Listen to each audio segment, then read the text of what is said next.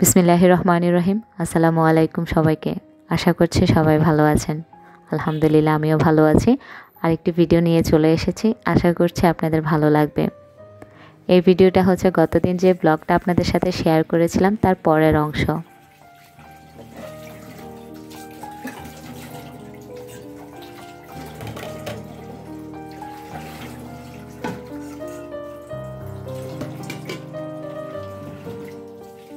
রান্নাবান্নার আগে আমি প্রথমে যে কাজটা করে নিই সব কিছু কাটাকাটি বা জোগাড় করার পর আমি যে পাত্রে রান্না করব বা যে হাঁড়ি পাতিলে রান্না করব, সেগুলো একটু ক্লিন করে নিই। যদিও এগুলো সবসময় ক্লিন করা থাকে, ধুয়ে মুছে আমরা রেখি রাখি আর কি। তবুও এটা আসলে রান্নার আগে আরেকবার ক্লিন করে নেওয়া উচিত।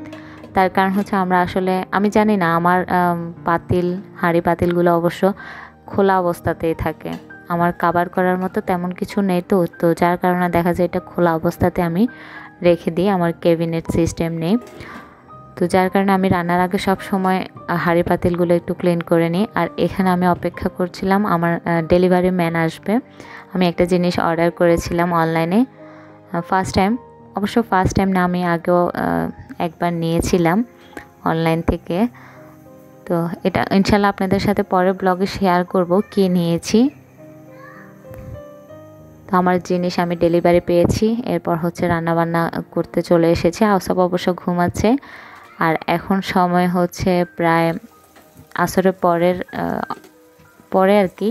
এখন প্রায় সাড়ে চারটার মতো বাজবে এরকম। তো কাটাকাটি যেহেতু আগেই করা ছিল, এখন জাস্ট রান্নাটা করব। তো গত ব্লগে আমি রান্নার এই অংশটা শেয়ার করিনি, কারণ দেখা যায় ব্লগটা অনেক বড় হয়ে যায়। আসলে আমাদের মেয়েদের রান্না বান্নার পেছনে সারাদিনের অনেকটা টাইমই কিন্তু রান্না বান্নার পেছনেই চলে যায়। দিনের অধিকাংশ সময় কিন্তু আমরা রান্না বান্না বা রান্নাঘরে অপচয় করি বা সময় ব্যয় করি। আমি অপচয় বলব না, এটা ভুলবশত বলা হয়েছে। অপচয় না এটা আসলে। নিজেদের জন্য খাওয়া, পড়া এগুলো অবশ্য নিজেদের জন্য, এটাকে অপচয় বলা একদমই ঠিক না।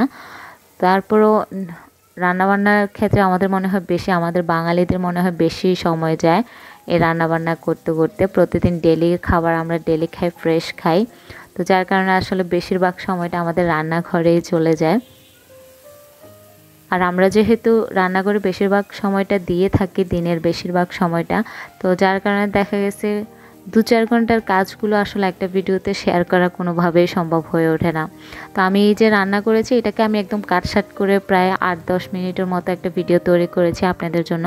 কিন্তু আমার এই রান্নাটা শেষ করতে কমপক্ষে শুরু থেকে শেষ পর্যন্ত দেড় থেকে দুই ঘণ্টা সময় লেগেছে। তো এটাকে আসলে একদম স্লোলি আপনাদের সাথে শেয়ার করলে কেউ আসলে দেখবে না।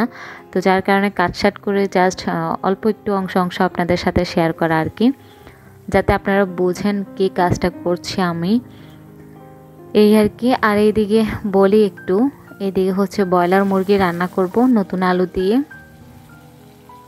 পেঁয়াজটা একটু ভালো করে ভেজে নিয়েছি, এরপর যা মশলাপাতি গরম মশলা লাগে সেগুলো দিয়ে দিলাম, একটু পানি দিয়ে কষিয়ে এখন গুঁড়ো মশলাগুলো দিয়ে দিয়েছি, হলুদ, ধনিয়া, মরিচ, এগুলো দিয়ে ভালো করে কষিয়ে নেব মশলাটা।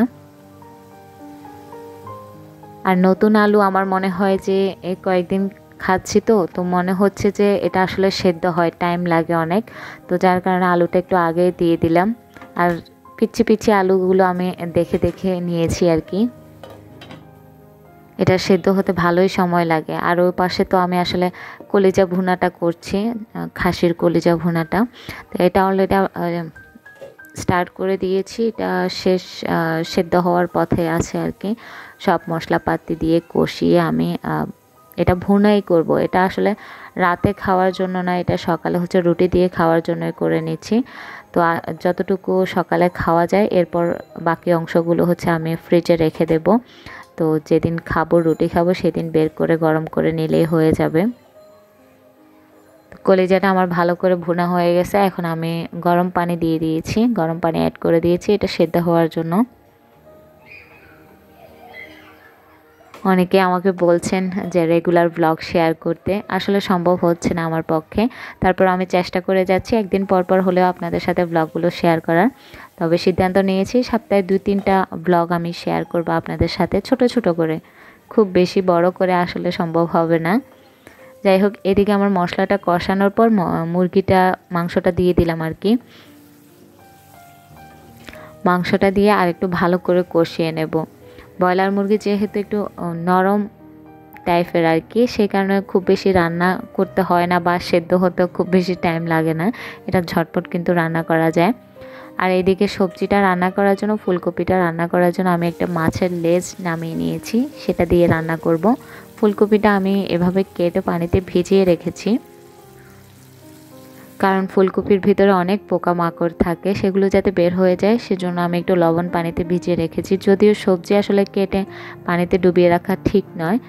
তো যাই হোক, আমি তারপরও করেছি। আর এদিকে হচ্ছে আমার কলেজা বোনাটা হয়ে এসেছে, আমি টমেটো আর কাঁচামরিচ দিয়ে দিলাম।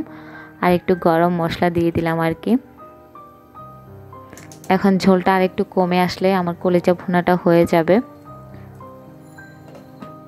ননস্টিকের রান্না ক্ষতিকারক আমরা এটা সবাই জানি, আমিও খুব বেশি একটা ব্যবহার করি না। তারপরেও আজকে বা আপনাদের সাথে শেয়ার করব বলেই হয়তো বা এটাতে রান্না করছি। তা না হলে আমি আসলে খুব বেশি রান্না করি না ননস্টিকের প্যানে। এটা আসলে স্বাস্থ্যের জন্য আসলে ক্ষতিকর। আসলে আমরা যেটা অ্যাভয়েড করব, চেষ্টা করি বা করার জন্য আসলে পরিস্থিতির কারণে বা আশপাশের পরিবেশের কারণে সেটা হয়ে ওঠে না। যাই হোক এইদিকে হচ্ছে আমার কলেজা ভুনাটা হয়ে গেছে। একটু ধনিয়া পাতা দিয়ে দিলাম। আমার কাছে আসলে ধনিয়া পাতাটা সব কিছুর সাথেই ভালো লাগে। তো কলেজা ভুনাটা আমি অন্য পাতিলে নিয়ে এটাতে আবার সবজি রান্না করে নিচ্ছি। কারণ হচ্ছে আবার দুইটা পাতিল আরেকটা পাতিলে রান্না করব, সেটা আবার ধুতে হবে। তো সেই কারণেই দেখা গেছে আমি এটা থেকে ট্রান্সফার করে কলেজা ভুনাটা অন্য পাতিলে নিয়ে এটাতে আবার রান্না করে নিচ্ছি। তো এতে ধোয়ার ঝামেলাও কমবে। এটা অবশ্য আমি আমার শ্বশুর বাড়ি থেকেই শিখেছি। দেখা যায় বাড়িতে যখন মাটির চুলায় রান্না করে একটা পাতিলে মোটামুটি সব তরকারি রান্না করা হয়। একটা পাতিলে রান্না করে সুন্দর একটা পাতিলে আবার ঢেলে নেয়। তো আবার সে পাতিলটা একটু ভিতর থেকে ধুয়ে আবার অন্য তরকারি রান্না করা হয়। তো আমি ওইভাবে করে আসলে ধোয়া, ধোয়ার ঝামেলা থেকে রেহাই পাওয়া যায়। আর এইদিকে মাছটা আমি কাটা বেছে নিয়েছি, কাটা বেছে আবার দিয়ে দিচ্ছি। আমার রান্না বান্না মোটামুটি শেষ, আর ভাতটা আসলে সন্ধ্যার পরে বসাই আর কি, এশারের পর এশারের নামাজ পড়ে তারপর ভাত বসাই। তো তরকারিটা রান্না করে ফেলে মোটামুটি ঝামেলা শেষ, আর এখন হচ্ছে প্রায় সন্ধ্যার আগ মুহূর্ত। তো আউসাপো উঠে যাওয়ার সময় হয়েছে আর এদিকে কিছু থালা বাসন ছিল, সেগুলো ক্লিন করে নিয়েছি, গুছিয়ে নিলাম। এই যে আমার রান্না বান্না কমপ্লিট আর এই যে বাইরের অবস্থা দেখতে পাচ্ছেন, সন্ধ্যা হবে হবে এমন অবস্থা। তো আমার এই ফাঁকে রান্নাও হয়ে গেছে কমপ্লিট আউসাপকে উঠিয়ে নেব এখন। সবজিতে একটু ধনিয়া পাতা দিলেই হয়ে যাবে, আমার সবজি রান্নাটাও কমপ্লিট হয়ে গেছে। আর যেদিন আমি আসলে আসাপের জন্য নাস্তা তৈরি করি, সেদিনের ব্যাপারটা আসলে অন্যরকম হয়। আর আজকে আসলে নাস্তা বানানোর তেমন ঝামেলা নেই, ওকে অন্য কিছু খাই, খাইয়ে দেবো আর কি। তো যাই হোক, আমার এই তো রান্না বান্না আসলে আমার দিনকাল এভাবেই কাটে, সময়গুলো এভাবে আমি মেনটেন করে, কাজগুলো এভাবে গুছিয়ে নিই। যাই হোক, আশা করছি আপনাদের ভালো ভালো লেগেছে। সবাই ভালো থাকবেন, সুস্থ থাকবেন। আল্লাহ হাফেজ।